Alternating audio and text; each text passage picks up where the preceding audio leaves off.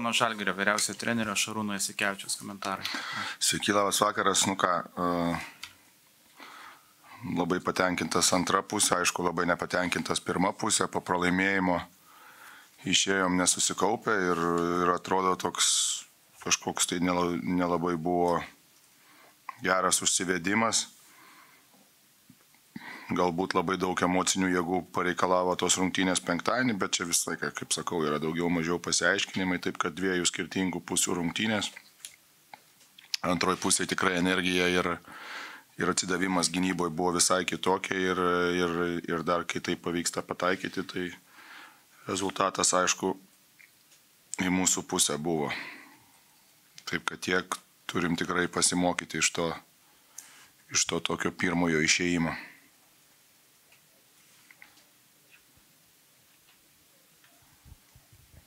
Šį kartą matėm, kad labai ilgai užtrukote per ilgą pertrauką, dėl ko daugiausiai buvo tų priekaištų komandai. Nežinau, aš trukau daugiau mažiau tie laikai, visą laiką tie patys, bandom juos kontroliuoti, priekaištai buvo dėl gynybos. Vėlgi sakau, nu, 45 taškai pirmoji pusėje po pralaimėjimo tai yra neatleistinas dalykas. A, kažkiek tai sprendėm savo problemas, taip, bet vis tiek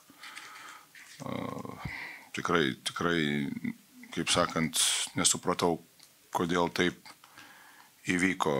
Nesustabdėm kamulio labai daug už situacijose. Plamai komandinė gynyba strigo labai, panevežys pradėjo su žymiai geresnė energija negu mes, kas irgi logiška, nes visą laiką Lietuvos krepšinio lygoje rungtyniausim, ko gero, netokie, netokie palsėję kaip varžovai, bet tai vėlgi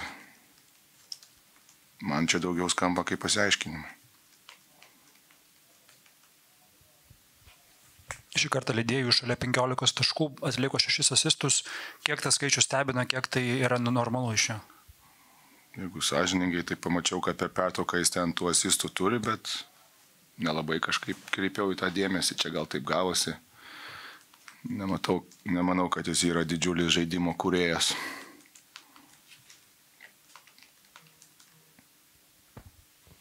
Jūsų sistemos žaidėjas Martinas Ajus šį vakar pakankamai neblogai atrodė. Kaip jis jums atrodė? Gerai atrodo, gerai atrodo, nes e, jeigu Sajokas įmeta 17 taškų yra super, manau, kad tikrai yra neblogas besiginantis žaidėjas. Mes kažkiek tai tokią viziją jam ir turėjom. Aišku, kiekvienam jaunam žaidėjui žalgerio sistemos turim kažkokią tai viziją, paskui galbūt kai kurie dalykai pasiteisina, kai kurie ne, daugiausia situacijų galbūt e, jie neturi kantrybės, nori išeisti, nori žaisti daugiau, kas yra logiška. Taip kad, e, žinote, čia yra, kaip sakant, mūsų vaikai, už juos tikrai malonu labai, kad ir kartais mums tų problemų pridaro, bet, bet vis tiek yra malonu. Ir tas pats Dimša paskutinių, sezon, e, paskutinių metų žaidžia žaidžia uh, solidesnį krepšinį, eina į priekį.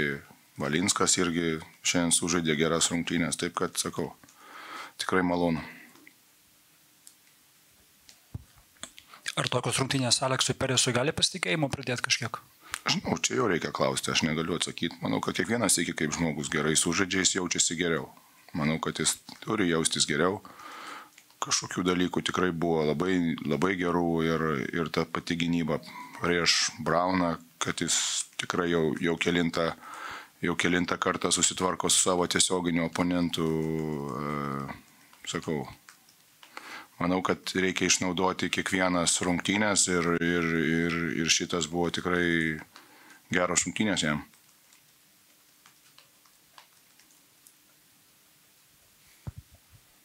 Jeigu niekas daugiau neklausia, klausimas iš kitos operos, nežinau, ar girdėjot, Davidą Blatą atleido po vienų Eurolygos jo, rungtynių. Mačiau. Kaip reaguoti tokį faktą? Čia jau dabar tampa mada. Tampa mada, iš tikrųjų, aišku, aš negaliu lysti į kitų daržą, nes nežinau, kas yra viduj, bet, žinot, trenerių atleidimas jau tampa mada ir, ir čia jau nieko nepadarysim. Sakau, iš kitos pusės, iš Kauno žiūrint, žiūrėt, kas darosi pirėjui, tai sunku, bet yra lengviausias sprendimas. Nors vėlgi pabrėžiu, kad galbūt mes kažko nežinom ir, ir, ir tai yra vidiniai dalykai. Kartais tai būna geriau, bet daugiausia situacijų tas kantrybės neturėjimas, nežinau, ar, ar priveda prie, prie geresnių rezultatų. Labas vakaras, good evening. Uh, we are beginning the press conference with the head, head coach of Lietkabelis Panežys, uh, Mr. Nenad Chenek. Please, your coach, please coach your comments for the game. In this moment, uh, I don't have anything very smart to say. We go out from locker room totally without without focus. You wanna translate or? Late. Okay, totally without focus and. Uh, one fact is uh, can explain the the second half. Okay, we took we took less shots than than made turnovers. Okay, so we took in second half 17 shots and made 18 turnovers. This is uh, I don't know. I I don't know that I heard for that fact on basketball on that high level. And of course, uh, second half, I cannot say that we stopped playing defense because we didn't play defense whole game, but uh, we were focused in offense. But in second half was uh, totally, totally terrible. terrible. Neturiu ką protingo pasakyti po tokios rungtynių pabaigos. Per, po didžiosios pertraukos išėjome į aikštelę iš rūbinės visiškai be koncentracijos pagrindinis dalykas, faktas, kokį galima pasakyti apie antrąją pusę, kad e, išmetėme mažiau metimų negu padarėme klaidų. Išmetėme 17 metimų ir padarėme 18 klaidų. Tokio fakto profesionaliam krepšinį iš tikrųjų net gal nesu girdėjęs.